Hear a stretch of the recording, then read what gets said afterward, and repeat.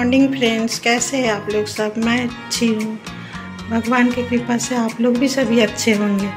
आज मैं शुरू कर रही हूँ ब्लॉग अपने पूजा घर से। सुबह का जितना भी सुबह का काम रहता है वो पूरा हो गया। झाड़ू पोछा, बर्तन जो भी हो, सुबह का तो कितना ही काम होता है। जितना भी कर लो, ख़त्म नहीं होता है। एक एक करके पूरा करो। चारों तरफ़ बाहर झाड़ू लगाना, कपड़े धोना, सारा काम रहता है। एक एक करके मैंने पूरा कर लिया। ये पूजा का बर्तन धुल गए। मिस्त्री भी आएँगे बोल रहे थे काम करने के लिए। ये थोड़ा बहुत काम बाकी रह गया ना, ऊपर के किचन का। तो ये पूरा करना है बोल के, मिस्त्री आएँगे आएँगे बोल के आ नहीं रहे और मैं ये ठीक भी नहीं कर पा रही घर का काम। और ये तुलसी का पौधा मैंने थोड़ा ऐसे ही बॉटल में लगा के रखे क्योंकि तुलसी फिर नहाने से पहले फिर तुलसी तोड़ नहीं सकते हैं, इसलिए इधर लगा के रखी हूँ कि तोड़ के फिर पूजा करूँगी ये मनी प्लांट लगाया था, पहले सूख गया, फिर सूखने के बाद ये फिर से दोबारा ये बम्बू ट्री भी है।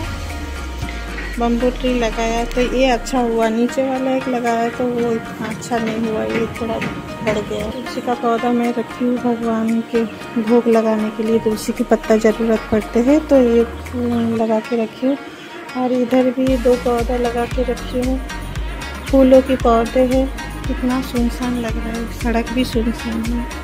कुछ नहीं है आज। गाड़ी भी कम लग रहा है देखने में। पहले से ही हमने तोड़ के रखे थे। इधर भी है फूल। देखिए कितना अच्छा फूल। अभी मैं पूजा करूँगी। पूजा करने के बाद थोड़ा ये घर थोड़ा साफ़ सफ़ाई करूँगी, क्योंकि जिस तरह से पड़ा है, कल बेडशीट उडशीट निकाले क्योंकि मेरा खुला ही है। रोड के किनारे बिल्कुल घर है, पूरा अच्छे से दिखता है, पेड़ के वजह से दिखते नहीं है। कितना अच्छा हवा भी आ रहा है, खिड़की खुला रखो तो कितना अच्छा हवा भी चलता है। ये जो आप रोड देख रहे हैं ना, ये रोड हमारे जिनको पता है, दीघा, समुंदर दीघा है, इसी रास्ते से जाना पड़ता है। जो बाई रोड जाते हैं ना, गाड़ी में, बस में, या अपने पर्सनल कार में, इसी इसी रास्ते से जाना पड़ता है। इसी रास्ते से कभी जाते हैं तो आप कमेंट्स में बताना ज़रूर। इसी रास्ते से जाना पड़ता है दीघा। बिल्कुल रोड के ही साइड में हमारा घर है। देखिए इधर हाट बैठते हैं ना इसलिए इतना ज़मीन खाली पड़ा है इतना गैरेज है। अभी सुबह थोड़ा हम्म, इतना शोर शराबा नहीं है तो मैं अच्छे से उठा पा रही हूँ क्योंकि इतना शोर शराबा रहता है ना वीडियो में।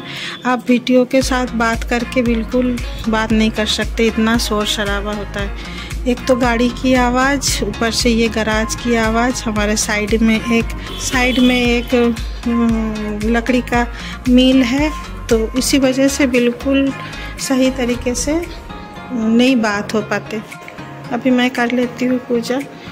पूजा में लेट हो जाएगा, नहीं तो फिर हस्बैंड आएँगे, ऑफ़िस जाएँगे, नाश्ता करके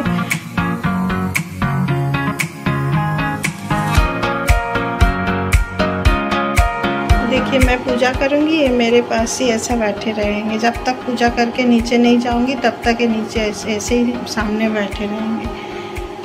तो वो रोज प्रसाद फ्रूट ले आते हैं तो फ्रूट ख़त्म हो जाते हैं। ये तो फ्रूट है, प्रसाद में डाल दूँगी और ये मैं डिब्बे में डाल के रख देती हूँ।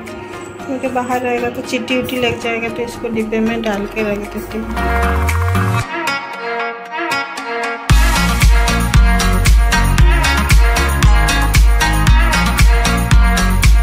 Few moments later. पूजा मेरा हो गया, भोग निकाल लिए। अभी मैं नीचे जाती हूँ, नीचे जाके और भी काम है, वो करूँगी चाय बना के दूँगी ससुर जी को। ये मैंने पूजा का वो कपड़ा निकाला था, इसको मेरे को वॉश करके फिर से रखना है अपने जगह पे। ये पूजा की जगह ये जो कपड़ा है, इसको कुछ दिन बाद मैं चेंज कर देती हूँ, क्योंकि सफ़ेद है ना, फिर गंदा हो जाते हैं तो इसलिए इसको धो के फिर रख दूँगी। चलिए नीचे चलते हैं। नीचे जाके तुलसी जी में अगरबत्ती लगाते हैं।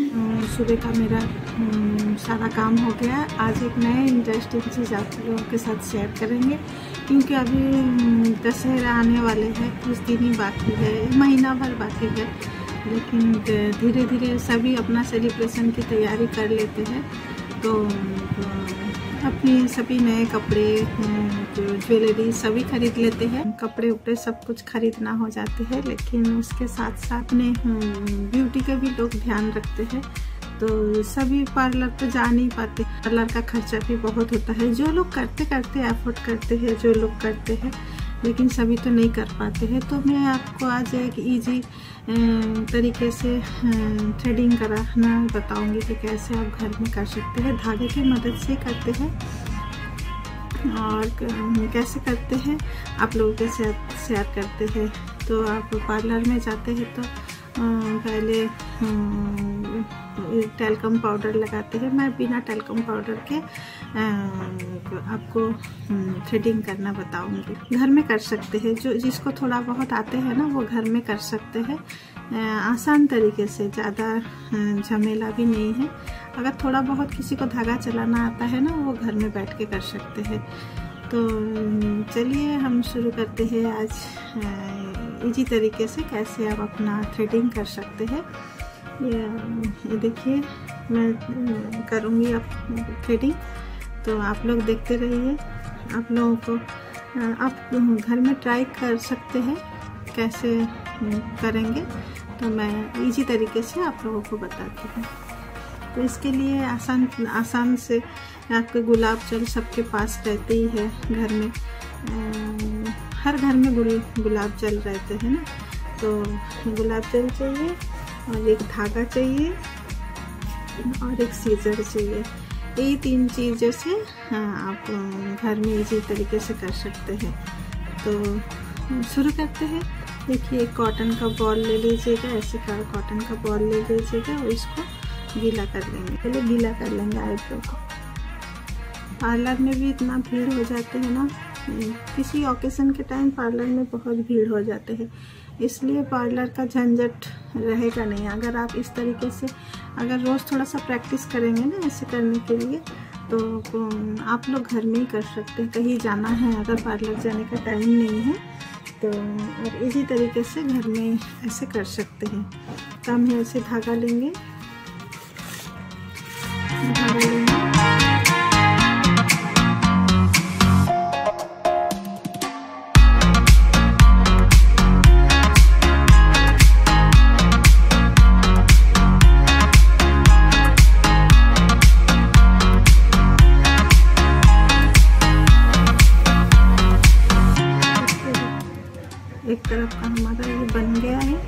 आसानी से बन गए जिनका मुँह थोड़ा भारी होता है ना, उसको ज़्यादा पतला आईब्रो रखना नहीं चाहिए, क्योंकि ज़्यादा पतला आईब्रो रखने से पूरा मुँह इतना बड़ा सा दिखता है ना तो थोड़ा आप मोटा करके रखेंगे ना तो अच्छा है।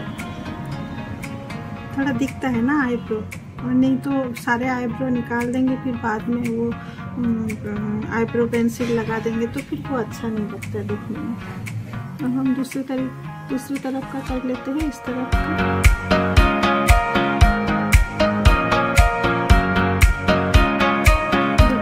पानी, रोज़ वाटर लगाने का ये अच्छा तरीका है ना, कि ये स्किन से इनका जो बाल है वो नरम हो जाते हैं, फिर जल्दी निकल जाते हैं।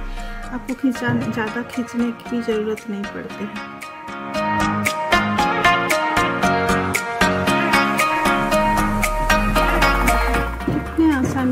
गया दस मिनट भी नहीं लगता है।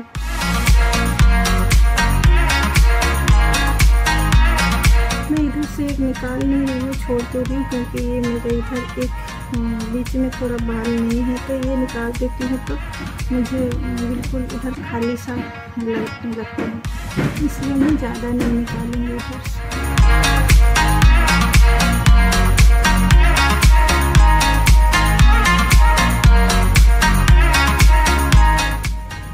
टाइम नहीं, लगता है पाँच या पाँच सात मिनट में हो जाता है, ज़्यादा टाइम नहीं लगता।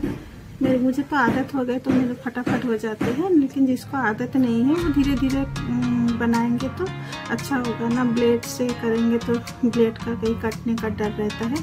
सभी नहीं कर पाते हैं ब्लेड यूज़ अभी हम इसको थोड़ा सा ऊपर से कट लगा देंगे, जो जो एक्स्ट्रा है।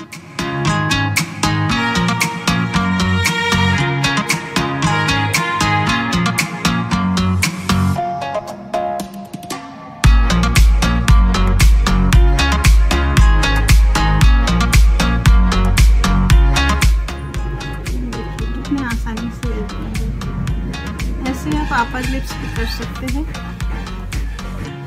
और एक भी साफ़ हो गया।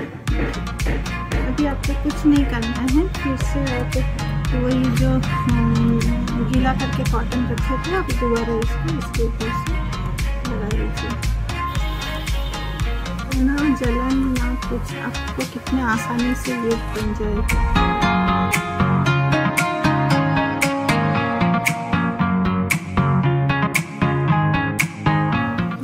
दस मिनट में आपका आईब्रो तैयार हो गया। अच्छा लगा आप लोगों को? आप लोग घर में ट्राई कीजिएगा। कैसा लगा देखिए? मैंने कुछ नहीं किया, देखिए। कितने आसानी से आईब्रो बनाए कहीं जाने से पहले आप फटाफट घर में ऐसे कर सकते हैं। खुद थोड़ा सा प्रैक्टिस कीजिएगा तो जल्दी बन जाएँगे। इतना आपको झमेला करने की कोई ज़रूरत नहीं है। फिर पार्लर के लिए टाइम निकालना पड़ता है, वो भी निकालना नहीं पड़ेगा।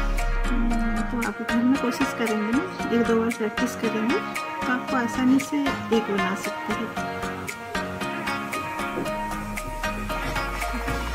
चलिए, मेरा वीडियो आपको कैसा लगा बताएँ ज़रूर। इसके बाद आपको स्टेप बाय स्टेप आपको एक एक चीज़ में करना सिखाऊँगी कि अपर लिप्स भी आप निकाल सकते हैं, ऐसे इसी तरीके से आप अभी बर्फ़ निकाल सकते हैं। लेकिन अभी अपर लिप्स निकालूँगी तो आँखों से पानी आ जाएगा ना, इसलिए मैं अपर लिप्स में बाद में निकाल दूँगी। तो चलिए, आप लोगों को वीडियो कैसे लगा बताना ज़रूर। अगर अच्छा लगे तो मेरे वीडियो को शेयर करना सब्सक्राइब करना। तो और कमेंट्स करना आप लोगों को कैसे लगा मेरा वीडियो। तो आज के लिए बस इतना ही। चलो, आगे देखते रहिए और नए नए वीडियो लेकर आएँगे। वीडियो देखते रहिए, तब तक के लिए बाय